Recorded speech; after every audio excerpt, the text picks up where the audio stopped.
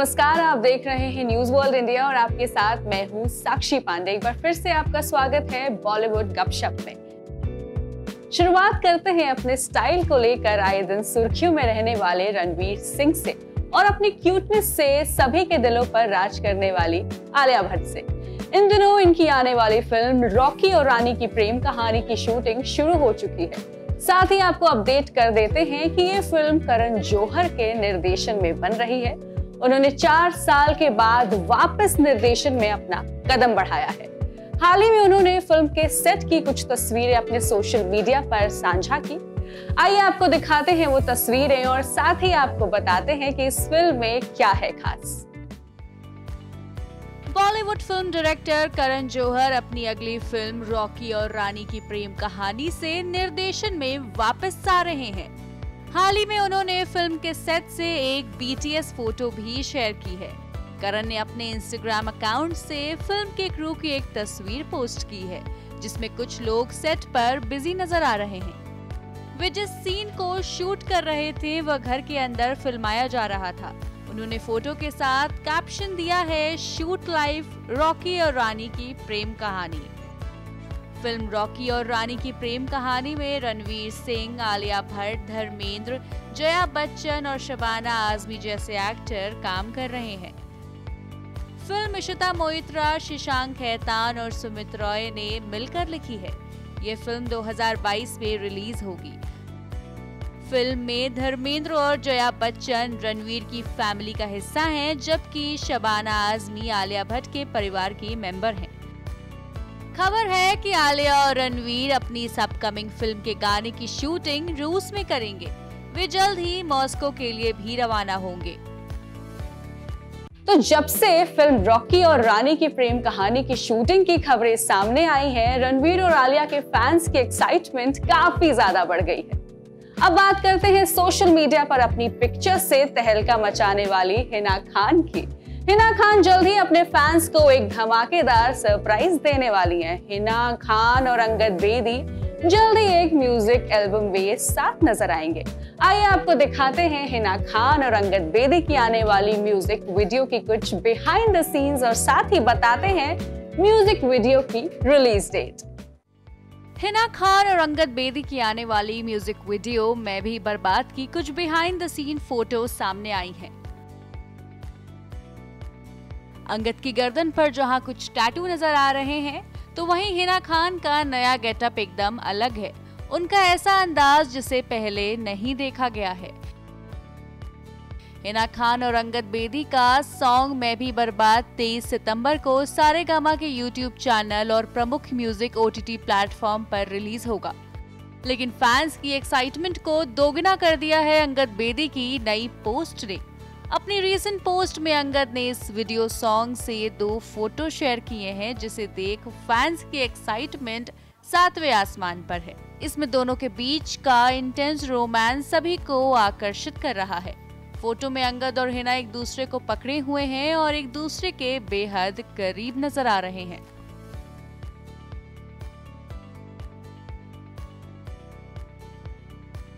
अब बात उन एक्टर्स की जो अपनी फिटनेस रूटीन को लेकर अक्सर चर्चा में हैं। आजकल हर कोई हेल्थ कॉन्शियस है, साथ ही सोशल मीडिया पर फैट टू फिट की ट्रांसफॉर्मेशन जर्नी भी सोशल मीडिया पर शेयर करते हैं फ़िलहाल आपको दिखाते हैं वो एक्टर्स जिन्होंने इंटेंस ट्रेनिंग और हेल्दी ईटिंग हैबिट से अपनी बॉडी को कंप्लीटली ट्रांसफॉर्म कर लिया शुरुआत करते हैं अरशद वारसी से, जिन्होंने हाल ही में अपनी ये तस्वीर सोशल मीडिया पर साझा की। ऐसा नहीं है कि अरशद इस fat to fit transformation journey में अकेले हैं। ऐसे और भी कई एक्टर्स हैं जिन्होंने कड़ी मेहनत से खुद को पूरी तरह बदल डाला। आइए देखते हैं कौन है वो एक्टर्स आप देख सकते हैं अरशद इस तस्वीर में किसी रेसलर से कम नहीं लग रहे हैं। उन्होंने अपनी एक पुरानी तस्वीर के साथ इसे शेयर किया है। इसमें वह अपनी बाइसेप्स फ्लॉन्ट करते हुए दिख रहे हैं। खास बात यह है कि अरशद की इस तस्वीर को रेसलर और एक्टर जॉन सीना ने भी शेयर किया है। हाल में कोरियोग्राफर और डायरेक्टर रेमो डिसूजा की पत्नी लीजेल डिसूजा ने भी अपनी ट्रांसफॉर्मेशन वाली तस्वीर शेयर की है। उन्होंने अपना 40 किलोग्राम वज़न कम किया है। उन्होंने ये वज़न इंटरमीडियंट फास्टिंग और वेट ट्रेनिंग वर्कआउट के ज़रिए कम किया। उन्होंने सिर्फ़ घर का खाना खाया। वह दिन में 18 से 20 घंटे तक इंटरमीडियंट फास्टिंग करती थी। वहीं अब बात कर लेते हैं बॉलीवुड एक्टर इमरान हाशमी की। इमरान ने हाल में अपनी कई तस्वीरें और वीडियो शेयर किए। ये उनकी वर्कआउट वीडियो और तस्वीरें थीं, जिसमें उनके ट्रांसफॉर्मेशन को साफ़ देखा जा सकता है। कई रिपोर्ट में दावा किया गया है कि इमरान हाशमी ने यह ट्रांसफॉर्मेशन फ़िल्म टाइगर थ्री के लिए किया है। फ़िल्म में उनके और सलमान खान के बीच फाइट सीक्वेंस है। वहीं दूसरी ओर कॉमेडियन और लाफ्टर क्वीन के नाम से पॉपुलर भारती सिंह ने भी अपना 15 किलो वज़न कम किया है।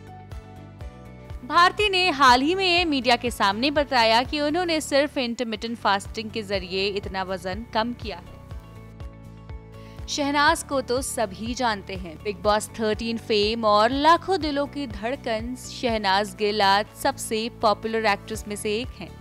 बिग बॉस 13 से बाहर निकलने के बाद उन्होंने अपनी फिजिक पर काफ़ी काम किया और 10 से 12 किलो वज़न घटाया। उनका ट्रांसफॉर्मेशन देख फैंस काफ़ी इम्प्रेस हुए। 1989 में रिलीज़ एक्ट्रेस भाग्यश्री और सलमान खान की फ़िल्म मैंने प्यार किया तो आप सबको याद ही होगी।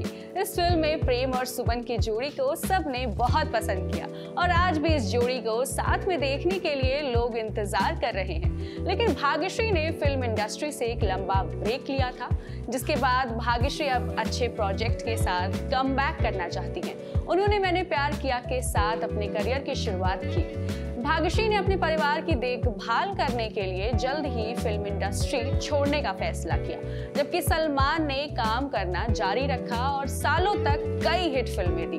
आपको बता दें कि भाग्यश्री ने हाल ही में कंगना रनौर स्टारर थलाईवी से एक्टिंग की दुनिया में कम किया है, लेकिन जब भाग्यश्री से पूछा गया कि वो वापस सलमान के साथ कब काम करेंगी, तब भाग्यश्री ने क्या कहा? आइए आपको दिखाते हैं इस रिपोर्ट में। भाग्यश्री का मानना है कि सलमान के साथ दोबारा काम करने की उम्मीद ना के बराबर है। खबरों की माने तो भाग्यश्री का कहना है कि वो सलमान खान से लंबे समय से नहीं मिली है, लेकिन सब जानते हैं सलमान अब भी यंग हीरोइनों के साथ काम कर रहे हैं। इसलिए भाग्यश्री का कहना है कि मुझे नहीं पता कि हम दोनों के साथ काम करने के लिए कौन सी स्क्रिप्ट आएगी। आपको बता दें कि सलमान को अक्सर फ़िल्मों में उनके ऑपोजिट काम करने के लिए, बहुत छोटी उम्र की फीमेल एक्ट्रेस को लाने के लिए आलोचनाओं का सामना करना पड़ता है फ़िल्म राधे और मोस्ट वांटेड भाई में उनकी लेटेस्ट को एक्ट्रेस दिशा पटानी थी, जहाँ सलमान 55 साल के हैं, वहीं दिशा उनतीस साल की हैं। सलमान की ऑपोजिट अनुष्का शर्मा, सोनम कपूर, जैकलिन फर्नांडिस जैसी कई फीमेल एक्ट्रेस काम कर चुकी हैं।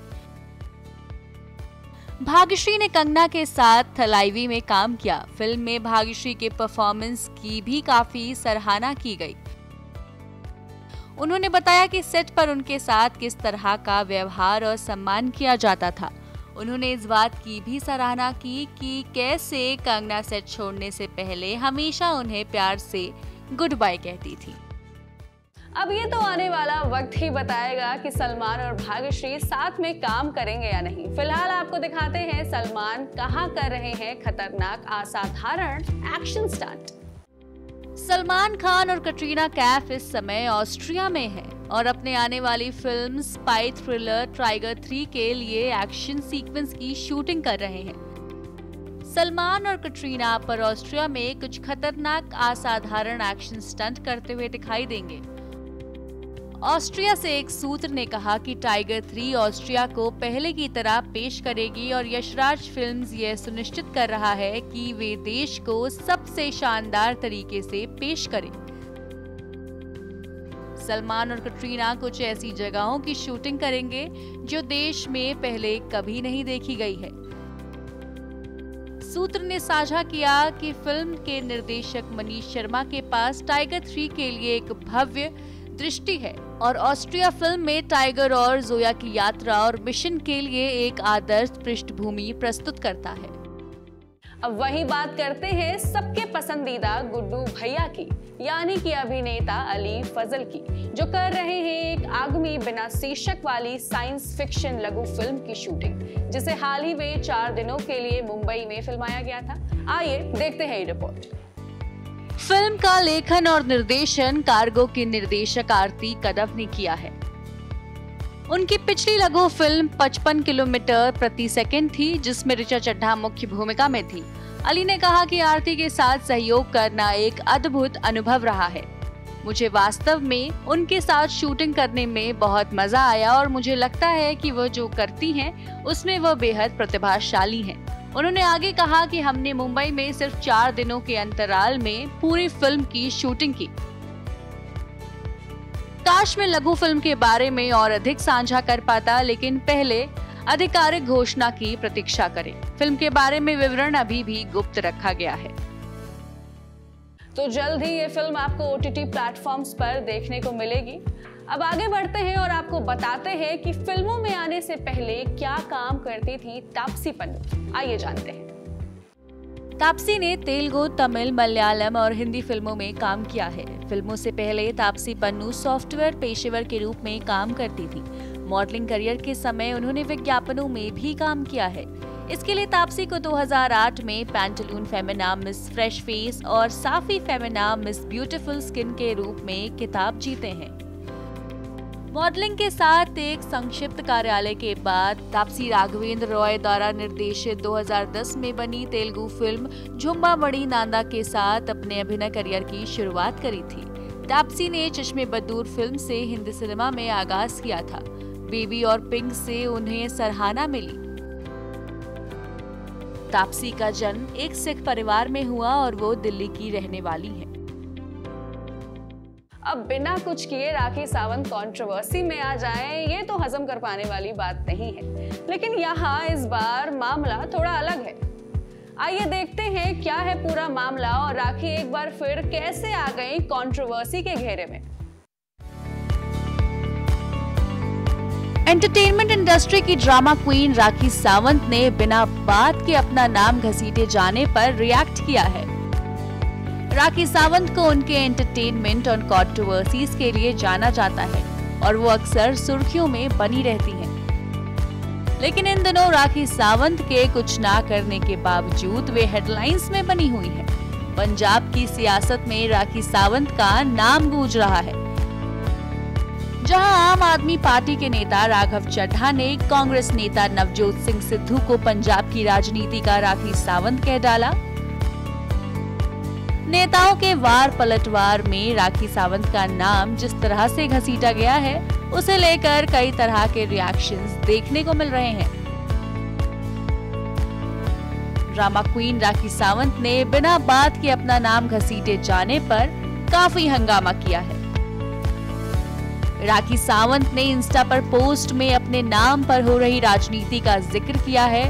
राखी सावंत ने एक ट्विटर पोस्ट का स्क्रीनशॉट साझा किया है।